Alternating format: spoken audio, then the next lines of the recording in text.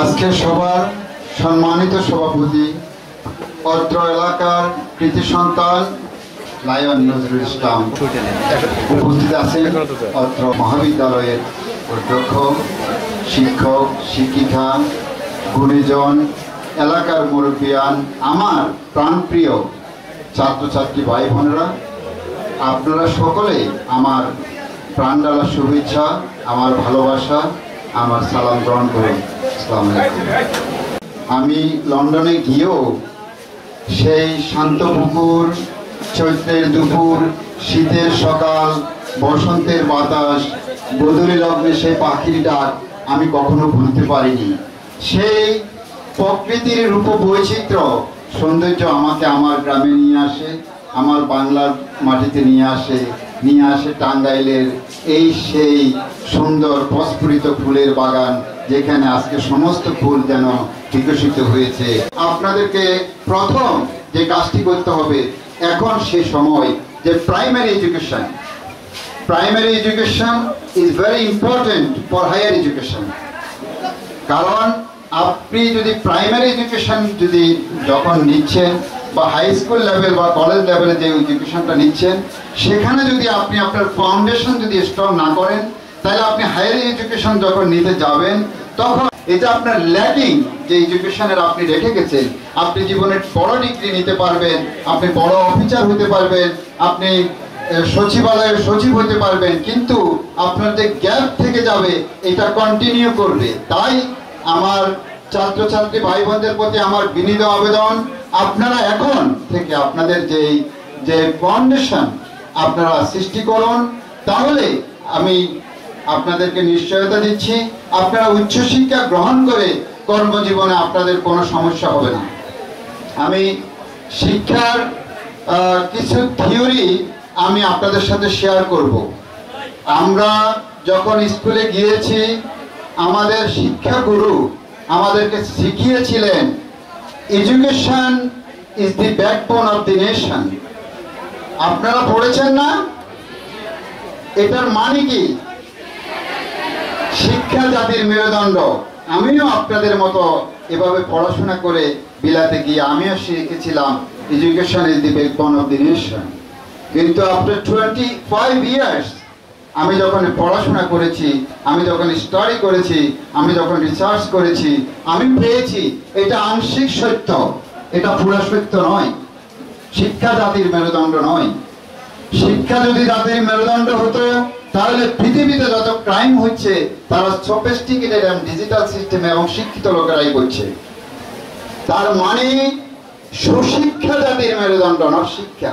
আপনি শিক্ষা গ্রহণ করেছেন, কিন্তু যদি আপনি সুশিক্ষা গ্রহণ না করেন, বা আদর্শ শিক্ষা যদি আপনি গ্রহণ না করেন ভালো শিক্ষা যদি আপনি গ্রহণ না করেন, একজন শিক্ষককে সম্মান করতে যদি আপনি না শিখেন, এক মাতা পিতাকে শ্রদ্ধা করতে যদি আপনি না শিখেন, আপনার শিক্ষা গুরু, আপনার পায়ের পাশের যে যে মুরব্বী আছেন, তাকে যদি আপনি সম্মান করতে না শিখেন, একজন মুক্তিযোদ্ধাকে যদি আপনি সম্মান করতে না শিখেন দেশের জন্য যারা আত্মত্যাগ করেছে, সমাজের জন্য আত্মত্যাগ করেছে, তাদেরকে যদি আপনি সম্মান করতে না শিখেন, সেই সুশিক্ষা যদি আপনি গ্রহণ না করতে পারেন, তাহলে আপনি কিন্তু উচ্চ শিক্ষিত হবেন না। এটা আমার থিওরিতে আসেন না। আপনারা কি একমত আমার সাথে?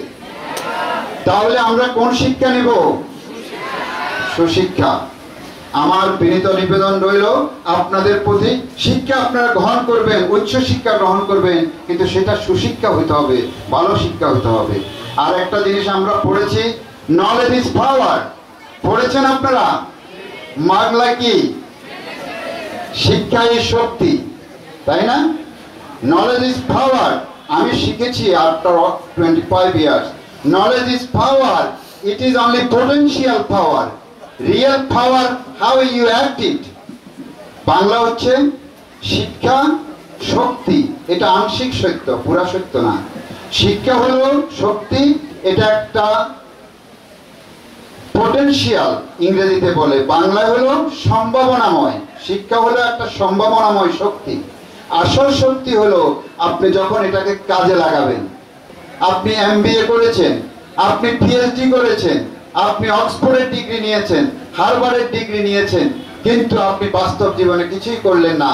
তখন কি আপনার এই শিক্ষা শক্তি হবে? তাহলে শিক্ষা তখনই শক্তি হবে, সেটা আপনাকে কাজে লাগাইতে হবে। সে কাজে লাগাইতে যদি পারেন আপনারা, তখনই আপনার এই শিক্ষা শক্তিতে রূপান্তরিত হবে। যেমন আপনি শিক্ষা গ্রহণ করে আপনার মাতৃভূমিকে ভুলে যেতে পারবেন না, যে মাটিতে আপনার জন্ম হয়েছে, যে মেটোপথ দিয়ে আপনি হেঁটে স্কুলে এসেছেন যে মানুষের প্রতিচ্ছবি যাদের দোয়ায়, স্নেহ, ভালোবাসায় পিতা, মাতা, ভাই বোনের আদর্শ আপনি অনুকরণ করে আজকে আপনাকে বড় করেছেন, বড় হতে যাচ্ছেন, তাদেরকে যদি আপনি ভুলে যান, তাহলে আপনার এই শিক্ষা কোনোদিন শক্তিতে রূপান্তরিত হবে না। আমি আশা রাখব আপনারা আজকে থেকে এই কথাগুলো যদি আপনারা মনে রাখেন, আপনাদের জীবন অনেক সুন্দর হবে। প্রস্ফুটিত হবে আপনাদের জীবন পথ বিকশিত হবে ফুলের মতো আপনাদের প্রত্যেকটি শিখর। আপনারা জীবন যুদ্ধে জয়ী হতে পারবেন। জীবনের প্রত্যেকটি গাত, প্রতিঘাত, শিখা আপনারা পেরিয়ে, আপনারা বিশ্ব থেকে আপনাদের সোনার মুকুট ছেনিয়ে আনে। আজকে যে বিশ্ববিদ্যালয়ে আপনারা পড়াশোনা করেছেন, সেটাকে একদিন আলোকিত করতে পারবেন। এটাই আমার প্রত্যাশা। পৃথিবীতে মানুষ পারে না, এমন কিছু নাই। আপনারা তো আরও উদীয়মান। রাইট আপনাদের ব্রেন এখন। আপনারাও এখানে যারা আছেন, আজকে পারবেন না, আপনাদের এমন কিছু নাই। কন্টিনিউয়াস আপনাদেরকে ট্রাই করতে হবে। তাহলে আপনারা আপনাদের স্বপ্নে পৌঁছতে পারবেন। আমি একটা কথা আপনাদেরকে বলব, যেটা আমাকে শিখিয়েছে আমার ক্লাসে লন্ডনে যে, আপনি প্রথম স্বপ্ন দেখতে হবে। স্বপ্ন নিয়ে পৃথিবীতে মানুষ বেঁচে থাকে আপনাকে প্রথম স্বপ্ন দেখতে হবে এবং স্বপ্ন আপনাকে অনেক বড় দেখতে হবে। আপনি যদি ছোট টার্গেট করেন, ছোট আপনার ভিশন হয়, ছোট আপনার গোল হয়, আর আপনি সেটা যদি মিস করেন, আপনি জীবনে পরাজিত সৈনিক হয়ে যাবেন। তাহলে স্বপ্ন অনেক বড় দেখবেন। আপনার ভিজুয়ালাইজেশন আপনার থিঙ্কিং আপনার ক্যাপাসিটির বাইরে স্বপ্ন দেখবেন। পৃথিবীর আপনি স্বপ্নে দেখবেন আপনি অক্সফোর্ড ইউনিভার্সিটি থেকে ডিগ্রি আনবেন। আপনারা স্বপ্ন দেখবেন ক্যামব্রিজ বিশ্ববিদ্যালয় থেকে আপনি ডিগ্রি আনবেন। আপনি স্বপ্ন দেখবেন আপনি হারবার্ড থেকে ডিগ্রি আনবেন।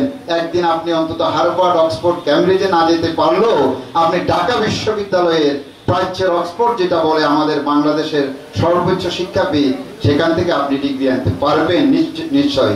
তাহলে আমার বিনীত নিবেদন, আমার প্রাণপ্রিয় ছাত্রছাত্রী ভাই বোনেরা, আপনারা স্বপ্ন দেখবেন অনেক বড়। আল্লাহ আপনাদেরকে বাস্তবায়িত করার সুযোগ দিবে। আমি একটা টিপস আপনাদেরকে দিয়ে যাব। আপনারা যারা আজকে এখানে এসেছেন, আপনারা প্রত্যেকেই একজন গুণী মা বাপের সন্তান।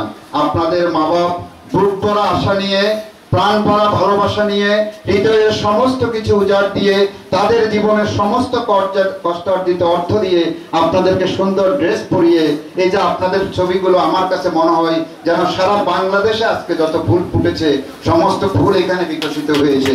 আপনাদের মা বাপের সেই স্বপ্ন নিয়ে ওনাদের জীবনের সমস্ত কষ্টার্জিত অর্থ দিয়ে আপনাদেরকে সুন্দর রেখে আপনাদেরকে আজকে বিশ্ববিদ্যালয়ে পাঠিয়েছেন আপনারা আপনাদের মা বাপের সেই স্বপ্ন বাস্তবায়িত করবেন। কীভাবে করবেন সেটা আমি আজকে আপনাদেরকে টিপস দিয়ে যাব কিন্তু সেই টিপস আমি শিখেছি পঁচিশ বছর পড়াশোনা করে, আর আপনাদেরকে দিয়ে দিব আমি এক মিনিটে। তবে আমি যে প্রথম বলেছিলাম, আমার দুটা এক্সাম্পল আপনাদেরকে দিয়েছিলাম।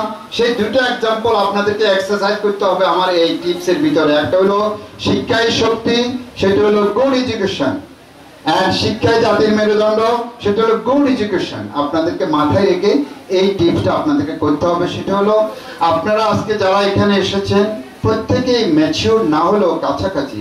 এটা যেহেতু বিশ্ববিদ্যালয়, এখানে বিশ্ববিদ্যালয় হলো হায়ার ডেফিনেশনের যে সংজ্ঞা ডিকশনারিতে দিয়েছে অক্সফোর্ড ডিকশনারি যেটা দিয়েছেন, আমাদের প্রিন্সিপাল সাহেব জানবেন, সেটা হলো কলেজ এবং হাই স্কুল লেভেলের পরে যে শিক্ষা, সেটাকে বলা হায়ার এডুকেশন বাট আমি নুরুল করিম দিয়েছি higher education is not degree from Oxford or Cambridge is a degree যে আপনার পিতামাতাকে যারা সম্মান করবে। আপনি পিতামাতাকে সম্মান না করে অক্সফোর্ডের ডিগ্রি এটা হায়ার এডুকেশন হবে না। আপনারা আজকে এখানে যারা আছেন, তারা বাসায় গিয়ে আপনারা আপনাদের স্বপ্নটা দেখবেন। চোখ বন্ধ করবেন, প্রথম ঘুমে যাওয়ার আগে আজকেই করবেন এটা। প্লিজ করবেন তো? কি করবেন? বাসায় গিয়ে আপনার আব্বু, আম্মু খাওয়া দিবে, খাওয়া খাবেন, পড়াশোনা করবেন, তারপর ঘুমাইতে যাবেন। ঘুমানোর আগে আপনি দুটা চোখ বন্ধ করবেন। করবে, আপনি স্বপ্ন দেখবেন। কে আপনি কোথায় কি হতে চান? সে স্বপ্ন দেখবেন কেমন জীবন গড়তে চান, কেমন ওয়াইফ স্ত্রী আপনি পেতে চান, মেয়েরা কেমন স্বামী আপনি পেতে চান, শাহরুখ খানকে স্বপ্ন দেখবেন না, উনি ওনার জগতে অনেক বড়, আপনি আপনার মতো করে স্বপ্ন দেখবেন, ছোট ভাইরা কোনো নায়িকাকে স্বপ্ন দেখবেন না, আপনি স্বপ্ন দেখবেন আপনার আদর্শ একটা নারীকে, এভাবে আপনি স্বপ্নটাকে সাজাবেন, আপনার ঘর, আমি এই হব, আমি ব্যারিস্টার হব, আমার বউ ডাক্তার হবে, আমাদের একটা সংসার হবে, বাড়ি হবে, ঘর হবে এরকম একটা স্বপ্ন আপনি আজকে রাতে দেখবেন। স্বপ্ন দেখতে টাকা লাগে না, পয়সা লাগে না, কোনো কি সাজেশনও লাগে না। কোনো বিশ্ববিদ্যালয়ে যেতে হয় না, কোনো শিক্ষাগুরু শিক্ষাপীঠও লাগে না।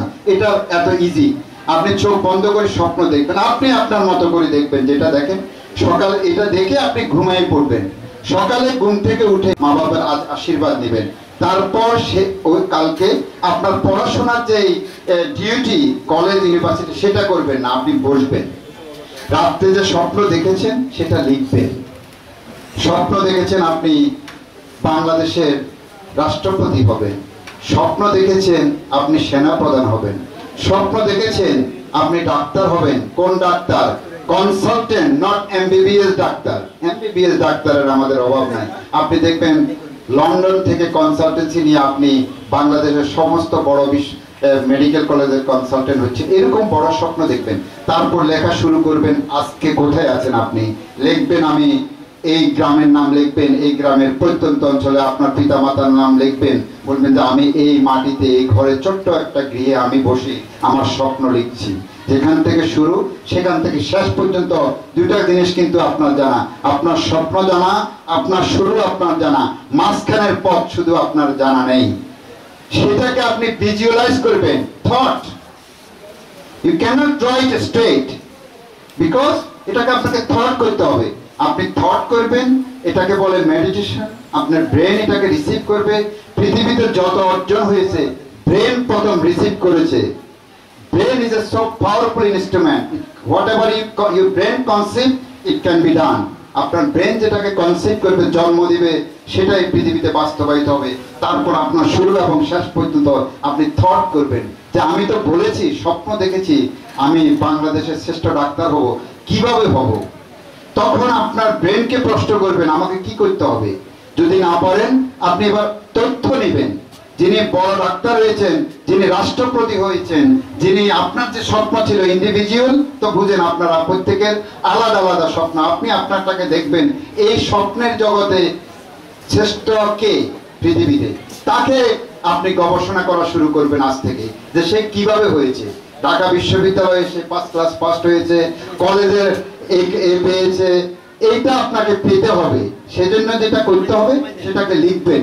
লিখি পুরো সামারি করে ফেলবেন আপনার সংখ্যা পর্যন্ত এবং আপনি এটাকে কন্টিনিউয়াস করবেন এবং আমার দৃঢ় বিশ্বাস এটা একদিন বাস্তবায়িত হবে। আপনাদের সে স্বপ্ন বাস্তবায়িত এই প্রত্যাশা থেকে আমার বক্তব্য এখানে শেষ করলাম।